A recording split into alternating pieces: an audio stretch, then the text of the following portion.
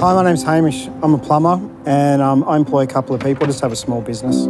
It has to be yes because it's going to be something that's going to help the Indigenous people. So I can't imagine why you wouldn't vote yes. What are you doing, Dad? I'm like becoming an actor. I don't know. I'm really frustrated that it has become a political issue and people are arguing about it. Pretty much everybody I know is voting yes. And I don't think any of those people would consider themselves to be elites. What does that even mean? Elite.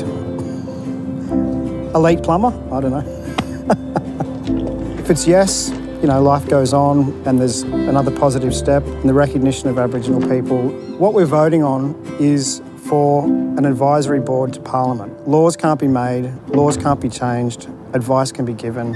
How could you not vote yes?